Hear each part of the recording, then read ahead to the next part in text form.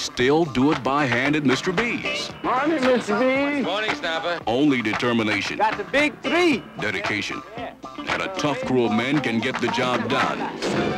Stand and deliver, honey. They've got a sharp boss who always has control of the situation.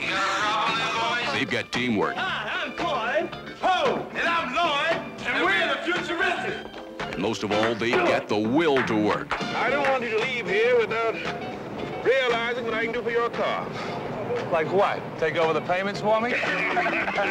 This is the wet and wild world of the car wash, a business a man can be proud of, I want to work with the men, Dad. where the only rule is do it with style. It's hard work, because sooner or later, everyone comes through here. Yeah, did you happen to see a big, tall, black, blonde chick here with Big black blonde red chick. boots? Listen, I'd like to talk to someone and get some information about a social disease. Hey, brothers, I'm here to unite with you.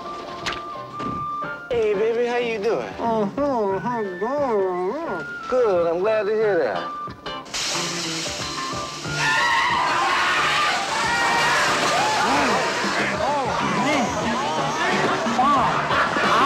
Between the washing and the cleaning, there's always room for dreaming that the next car through might be the answer to your prayers. Praise the Lord. Praise the Lord.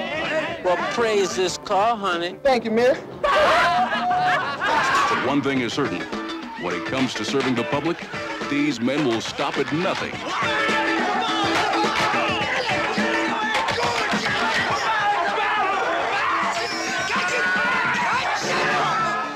George Carlin, Professor Irwin Corey, Ivan Dixon, Lorraine Gary, Jack Kehoe, the Pointer Sisters, Richard Pryor. They all come together at the fabulous, freewheeling Soap Hudson Emporium where everything goes. Boy, there's been some weird people in here today. Car wash.